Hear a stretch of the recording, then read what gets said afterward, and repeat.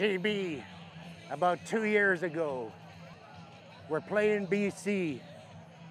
And my moment was when we I came out of the stairway, it was the end of the game. And our, we were behind, and there was seconds less left in the game.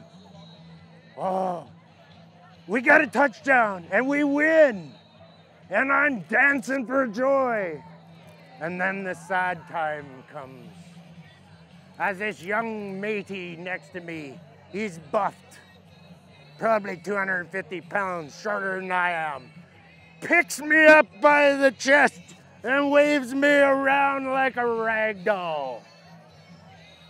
I go home with sore ribs.